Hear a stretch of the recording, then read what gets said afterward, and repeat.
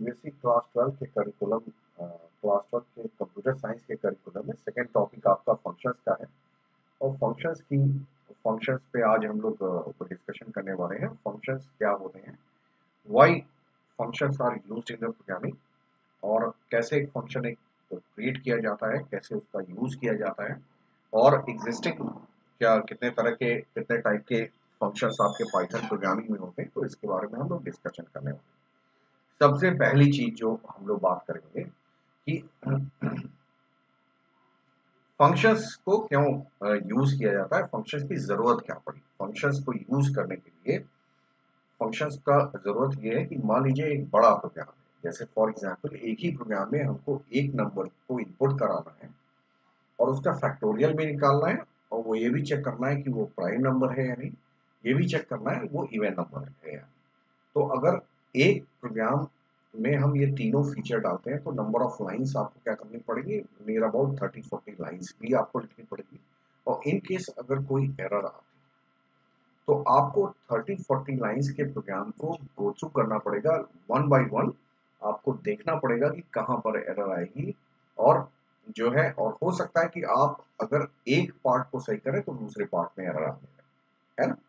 तो ये जो, ये एक एक अगर अगर एक बड़ा प्रोग्राम ऐसे लिखा गया है तो ये काफ़ी इनकन्वीनियंट है और इसमें क्या कहते हैं, इसमें जो है, ये एरर प्रोन भी होगा और इजिली इसको मेंटेन नहीं किया जा सकता, इसलिए इसको एरर फ्री नहीं बनाया जा सकता इन केस अगर एरर आती ठीक है? फ़ंक्शंस के प्रोग्रामिंग में एक अप्रोच है divide and conquer divide and conquer approach के थ्रू हम लोग क्या करते हैं फ़ंक्शन में जो आपके प्रोग्रामिंग में एक अप्रोच है डिवाइड एंड कंक्योर अप्रोच इसमें हम एक बड़े प्रोग्राम को छोटे छोटे प्रोग्राम्स में डिवाइड छोटे छोटे हिस्सों में डिवाइड करते हैं। और हर हिस्से से डील करने के लिए एक फ़ंक्शन आप बनाते हैं। जैसे फॉर एग्ज़ाम्पल अगर आपने आ, क्या है कि आपका इसी प्रोग्राम की अगर हम बात करें कि मान लीजिए फैक्टोरियल भी निकालना है और प्राइम नंबर भी चेक करना है एंड आपका इवन एंड नॉट भी चेक करना है तो हम इसमें एक बड़ा प्रोग्राम लिखने के बजाय हम लोग क्या कर सकते हैं, एक फैक्टोरियल का एक फ़ंक्शन बना सकते हैं इवन एंड ऑड का एक फ़ंक्शन बना सकते हैं, और एक प्राइम चेकिंग का फ़ंक्शन बना सकते हैं। तो इससे फ़ायदा ये रहेगा कि आप उस नंबर को फैक्टोरियल वाले फ़ंक्शन में पास करके आप फैक्टोरियल आप निकाल सकते हो। उसी नंबर को आप इवन एंड ऑड वाले में पास करके इवन एंड ऑड निकाल सकते हैं एंड उसी नंबर को प्राइम नंबर वाले फ़ंक्शन में पास करके प्राइम नंबर चेक कर सकते हैं। इन केस अगर किसी, एक मान लीजिए प्राइम नंबर की चेकिंग में आ तो इसका मतलब कि आपको आपको जानते हो कि आपको किस पर्टिकुलर फ़ंक्शन में आपको क्या करना पड़ेगा? पूरे प्रोग्राम को डिस्टर्ब किए बिना उस पर्टिकुलर फ़ंक्शन में जो प्राइम नंबर की चेकिंग के लिए रिस्पॉन्सिबल है उसमें करेक्शन करना पड़ेगा। तो ये एक जो बेनिफिट है जो मेंटेनेबिलिटी का एक बेनिफिट है। आप इजिली आप क्या करते हैं किसी चीज़ को सही एरिया में आ, किसी एरर को सही एरिया में सर्च करके उसको आइडेंटिफाई करके उसको ट्रबल शूट करा मिलने में जो कन्वीनियंस है, जो डील करने में प्रोग्राम से डील करने में जो कन्वीनियंस है, वो आपका फ़ंक्शंस के थ्रू ही फ़ंक्शन फ़ंक्शन के थ्रू ही प्रोवाइड होता है। तो कैसे एक फ़ंक्शन बनता है, कैसे हम उसे जो है अपने प्रोग्रामिंग में बेनिफिट उठाते हैं, उसकी ही हम लोग बात आज करते हैं। तो सबसे पहली चीज़ तो ये है कि अगर आप कुछ बेसिक चीज़ें जो हैं, वो आप वो करें। कि फ़ंक्शन में क्या है? कि फ़ंक्शन एक ऐसा एक कंपोनेंट है जिसमें set of group of lines लिखी होती हैं। ऑफ़ लाइंस और ये लाइन किस लिए लिखी जाती है?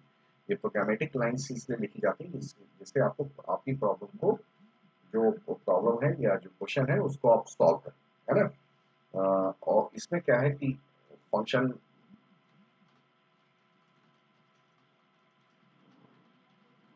कुछ इनपुट भी ले सकता है है ना एज एन आर्ग्यूमेंट है ना, ठीक है? और फ़ंक्शन कुछ वर्क परफॉर्म करके रिटर्न्स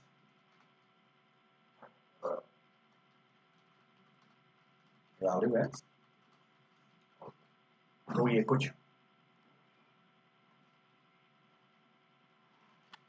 वैल्यू भी तो ये फ़ंक्शंस के अंदर ग्रुप ऑफ़ लाइंस लिखी जाती हैं मतलब मोर देन वन लाइन इसमें लिखी जाती है और इसको इसमें कोई वैल्यू पास की जाती है, उस वैल्यू पे कोई ऑपरेशन होता है और वो ऑपरेशन का जो रिज़ल्ट आता है, वो आउटपुट के फॉर्म में आपको रिटर्न किया जाता है। तो ये तीन चीज़ें हम लोग फ़ंक्शन के बारे में हम लोग को देखने को मिलेगी। तो अब हम लोग बात करते हैं कैसे एक फ़ंक्शन बनाते हैं। तो यहाँ पर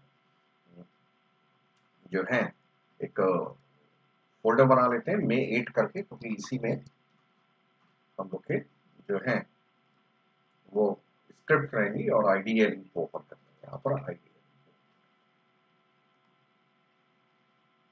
तो यहाँ पर एक स्क्रिप्ट ओपन करते हैं न्यू फ़ाइल और यहाँ पर अब हम लोग अब फ़ंक्शन की मेकिंग में दो चीज़ों का ध्यान रखते हैं।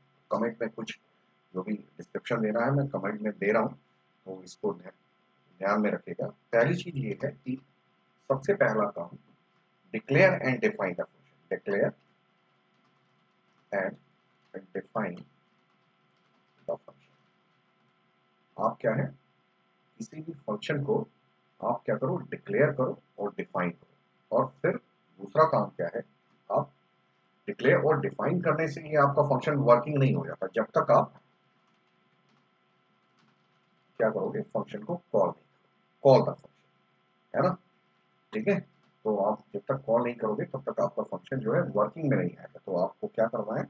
अपने फ़ंक्शन को डिक्लेयर करना है और डिफाइन करना है और फिर कॉल करना है। फिर हम दिखाते हैं कि कैसे डिक्लेयर और डिफाइन करोगे। तो डिक्लेयर किसी भी फ़ंक्शन के को डिक्लेयर करने के लिए डेफ कीवर्ड है। डेफ मतलब you are you are going to define a function है ना?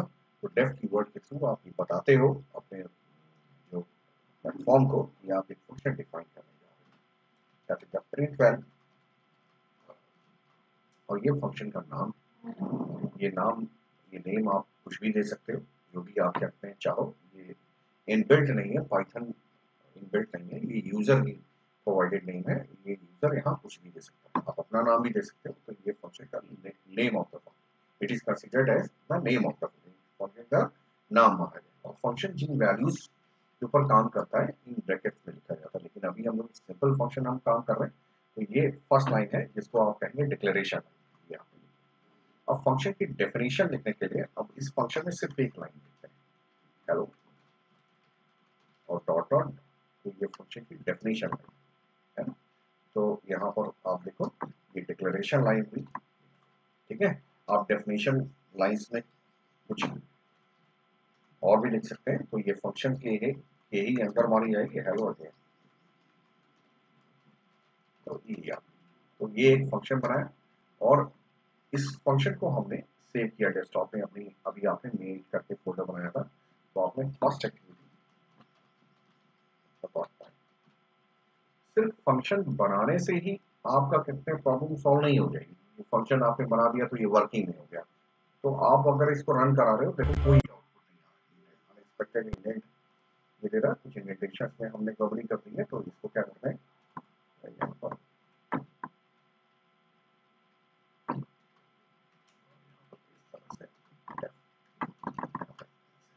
अब इसको रन करा रहे हैं तो यहाँ पर देखिए, किसी तरह का कोई आउटपुट नहीं आता। क्योंकि आपने डिक्लेयर एंड डिफाइन तो किया है, लेकिन कॉल नहीं किया। जब आप कॉल करते हो मतलब कि अगर आपको फ़ंक्शन से आउटपुट चाहिए, और फ़ंक्शन को वर्किंग आप दिखाना चाहते हो तो आपको क्या करना पड़ेगा? प्रिंट वैल्यू इस function call means you are calling the function आपने प्रिंट वैल्यू ऐसे लिखा और यहाँ पर देख सकते यहाँ पर आपने लिखा आपने ऐसे रन करना है।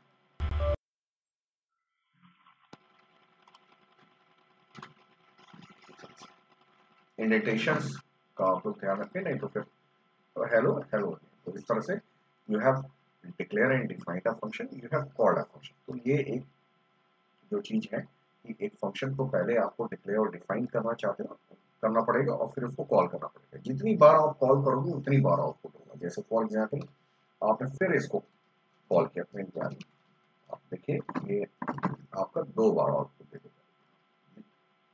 जितनी बार भी हेलो अगेन हेलो अगेन फिर हेलो ठीक है? फिर अगर एक बार और करोगे तो उतना फिर वो आउटपुट सेट ऑफ़ लाइंस फिर आ जाएगी। तो अब ठीक। ये आपकी, ये हमने एक फ़र्स्ट सीन ये आपने देखा कि आपने एक फ़ंक्शन डिक्लेयर किया और फ़ंक्शन डिफाइन किया तो इस तरह से ये आपका अब आते हैं पैरामीटर पासिंग की बात कैसे? मैंने कहा है कि मैंने अभी डेफिनेशन में लिखा है। ग्रुप ऑफ़ लाइंस हो सकती हैं ठीक है? ये आपने देख लिया लेकिन ये कुछ इनपुट लेता है और कुछ आउटपुट प्रोड्यूस करता है ठीक है? है ना? तो अब इनपुट कैसे लेता है है ना?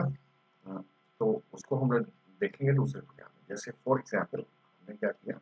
एक दूसरा स्क्रिप्ट ओपन किया और यहाँ पर हम लोग क्या एनालाइज करने वाले हैं? Function takes N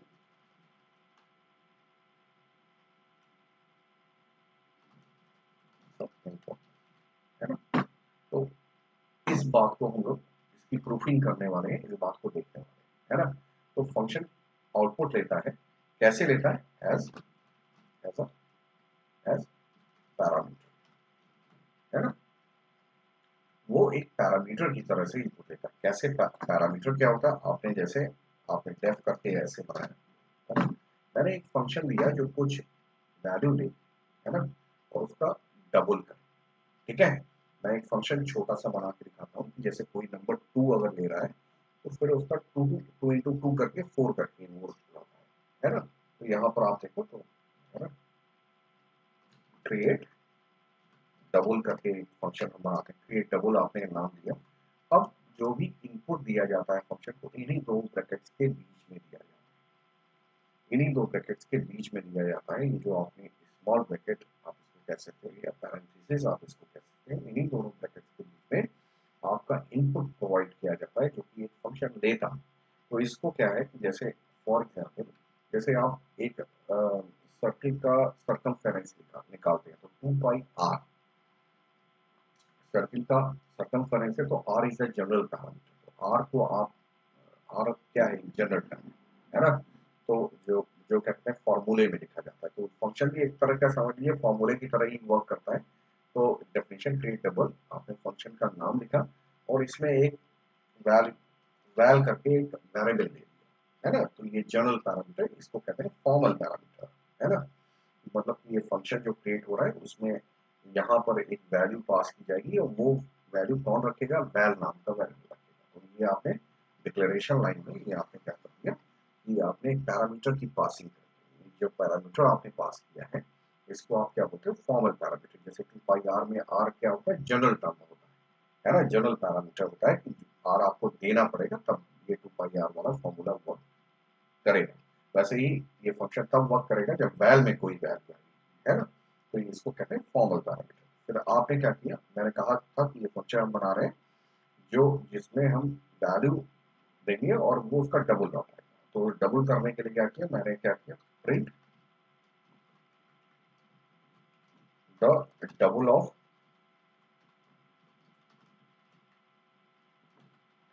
double of given value is तो आपने यहाँ पे टू इंटू वैल कर तो ये सिंपली क्या किया? टू इंटू वैल आप इसको चाहें तो कुछ ऐसा भी कर सकते हैं कि यहाँ पर अगर आप एक्सप्रेशन नहीं लिखना चाहते हैं तो ये डिफरेंट वेरिएबल में जैसे रिज़ल्ट दिया और टू इंटू वैल ऐसे ठीक है? तो ये फ़ंक्शन ये वैल्यू का डबल हो गया तो आपने यहाँ पर ऐसे, ठीक है? तो इसे डबल कर दिया तो ये आपने, ये जो है, इसको इस पर्टिकुलर एक्टिविटी को हमने सेकेंड एक्टिविटी का नाम और इसको डेस्कटॉप में में एड करके एक फोल्डर है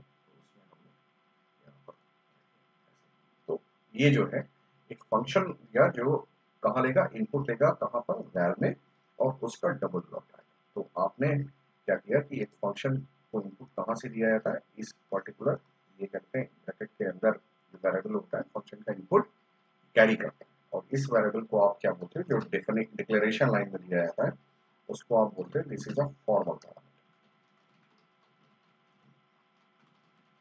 ठीक है? यहाँ पर फॉर्मल अब इस, लेकिन क्या इतने से ही आपका फ़ंक्शन काम करेगा नहीं? आपने रन कराया और फ़ंक्शन ने कोई आउटपुट नहीं दिया मतलब आपको कॉल करना पड़ेगा। तो अब क्या है कि आप जान रहे हैं कि आपके फ़ंक्शन का नाम है क्रिएट डबल और वो एक वैल्यू की डिमांड करेगा, जिसका डबल निकालना तो इस फ़ंक्शन को आपको कॉल करना पड़ेगा। तो पहले आपने क्रिएट डबल अब मान लीजिए अगर आप इसमें पैरामीटर नहीं पास कर रहे हैं तो ये क्या देगा? ये आपका एरर देगा। आप यहाँ पर देखिए, यहाँ पर देखिए एरर ठीक है? क्यों? क्योंकि अगर इसी फ़ंक्शन में अगर आपका फॉर्मल पैरामीटर दिया है तो आपको यहाँ पर पैरामीटर पास करना पड़ेगा। तो आपको क्या करना है? यहाँ पर कोई वैल्यू देनी पड़ेगी। आपने टेन दे दिया तो यहाँ पर आपने देखिए ये आपका आया द वैल्यू ऑफ़ वैल्यू तब ये फ़ंक्शन चला उसने डबल वैल्यू प्रिंट तो ये बात जो है अब ये फ़ंक्शन का जो है डिक्लेरेशन टाइम में जो पैरामीटर जो वेरिएबल दिया जाता है उसको फॉर्मल पैरामीटर और लेकिन कॉलिंग टाइम आपने अगर फॉर्मल पैरामीटर दिया है तो यहाँ पर आपको एक्चुअल पैरामीटर देना पड़ेगा ठीक है और ये जो वैल्यू आपको पास करते हैं इसको क्या बोलते हैं आप इसको बोलते हैं एक्चुअल पैरामीटर ठीक है तो ये जो चीज़ है क्रिएट डबल करके आपने इसको ठीक है तो ये आपका क्या है कि ये आपका फ़ंक्शन आपने कैसे प्रोग्राम में मैंने बताया कि आप फ़ंक्शन से कैसे काम करते हो, है ना? आपने क्रिएट डबल किया। हम्म। और ये पैरामीटर है। ये इसको फॉर्मल पैरामीटर कहते हैं। इस पैरामीटर पे ही फ़ंक्शन काम करता है और रिज़ल्ट कैलकुलेट करके आप प्रिंट के थ्रू देते हो। तो यहाँ पे क्रिएट है ना? और जब आपने कॉल किया तो आपने फॉर्मल पैरामीटर दिया है। यहाँ पर एक्चुअल पैरामीटर आपको देना पड़ेगा। जैसे टू पाई आर है तो अगर आपको प्रॉब्लम सॉल्व करनी है तो आर की वैल्यू देनी पड़ेगी। तो इधर क्या है? ये आपको एक वैल्यू एक पैरामीटर यहाँ पर दिया है। पैरामीटर आपको ठीक है? तो ये चीज़ यहाँ पर आपको मैंने बताया अब यहाँ पर एक प्रोविज़न और है ना? जिसको थोड़ा सा आपको ध्यान से देखना है, ठीक है? सबसे पहली चीज़ अब हम बात करते हैं। हमने अभी अभी बात कुछ रूल्स हैं फ़ंक्शंस के जो आपको थोड़ा बहुत सीखने पड़ेंगे तो इनके बिना काम नहीं चलेगा। सबसे पहली चीज़ तो ये है कि आपने कहा कि आपने एक फ़ंक्शन के डेफ डेफ माई फ़ंक्शन करके आपने एक फ़ंक्शन बनाया। और यहाँ पर आपने एक वेरिएबल दिया। एज अ फॉर्मल पैरामीटर और यहाँ पर प्रिंट है प्रिंट और डॉट कॉमा और कैट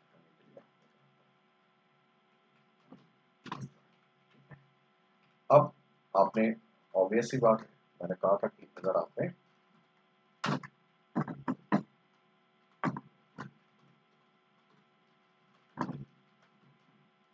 कॉल करना है तो आपने यहाँ पर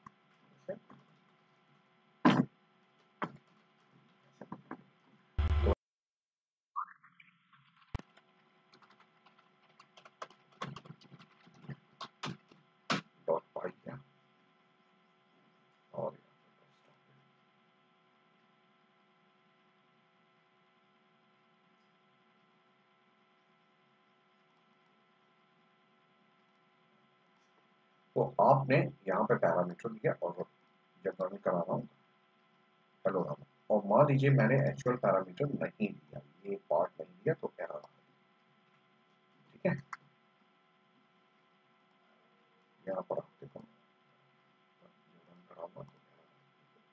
एरर आ रही है ना? और बता रहा है, आप एरर को भी ध्यान से पढ़ें।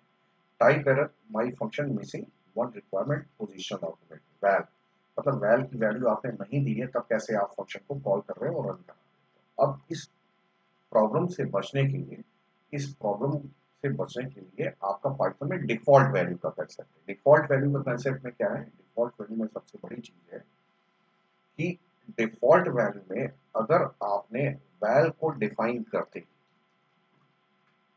है ना? और यहाँ पर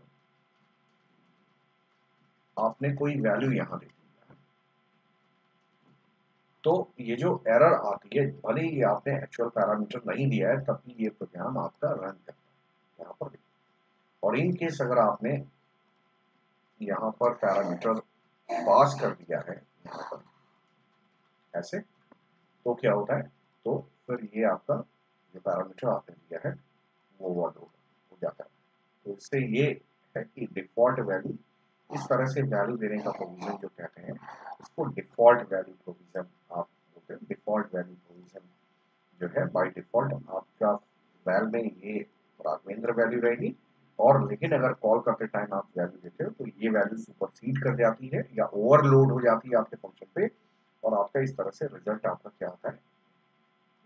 तो रिज़ल्ट आपका इस तरह से आपका है। मतलब कि आपने कुछ नहीं दिया तो हेलो राघवेंद्र आए।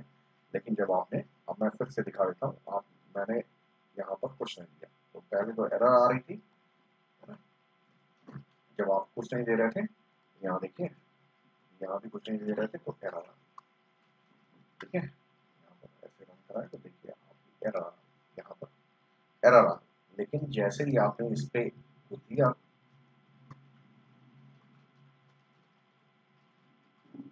तो फिर ये क्या है हाँ एरर आना बंद हुई ठीक है तो अगर आप ये ना देना चाहो और तब भी अगर आप चाहो कि ये एरर जो आ रही है वो ना, है ना? तो इससे, इसके लिए क्या करो, यहाँ पर आप डिफ़ॉल्ट वैल्यू का प्रोविज़न कर दो। आपने यहाँ पर देखिए डिफ़ॉल्ट वैल्यू का प्रोविज़न किया यहाँ पर। बी एच ए वी है मतलब डिफ़ॉल्ट वैल्यू आपने इनिशियल वैल्यू यहाँ पर लिखी तो इससे फ़ायदा ये हुआ कि जो एरर आ रही थी, वो आपने नहीं, है ना? तो वो नहीं आ रही। तो यहाँ पर मैंने ये बताने की कोशिश की, एक सिंपलेस्ट फ़ंक्शन कैसे क्रिएट करते हैं। ठीक है, कैसे क्रिएट करते हैं, अगले लेक्चर में मैं बताऊँगा कुछ चीज़ें कैसे आप सोचते हो। जैसे मुझे प्राइम नंबर का फ़ंक्शन बनाना है या इस तरह का फ़ंक्शन बनाना है, इन सब चीज़ों को कैसे आप करते हो। तो ये ये बातें हम अगले उसमें हम लोग अगले लेक्चर में बात करेंगे। तो इस लेक्चर को हम यहीं पर वाइंड अप करें। इन चीज़ों इन चीज़ों को ध्यान से आप लोग थोड़ा देखिए और फिर अगले लेक्चर में चैप्टर नंबर टू में ही है। हालाँकि चैप्टर नंबर टू में ये सेक्शन काफ़ी बाद में है, लेकिन ये है कि ये सेक्शन पहले ही आपको आना चाहिए। तो हम इसको बहुत डीपली एक्सप्लेन करेंगे, कभी भी आपको कोई दिक्कत ना होगी ठीक है? तो वहाँ पर क्या है? बिल्डिंग फ़ंक्शंस मॉड्यूल्स के बारे में हम लोग डिस्कशन चैप्टर में करेंगे और ये चीज़ें जो हैं वो हम आपको दे रहे हैं तो इसको जो है इसको ध्यान से ठीक है? तो यहीं पर वाइंड अप करते हैं और अगले लेक्चर में